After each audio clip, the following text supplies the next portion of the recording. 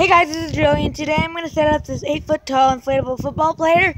Um, and it is the day of the Super uh, Bowl, and I'm not going to tether it, I'm just going to lean it against the house here, so I'm going to get move it into a position.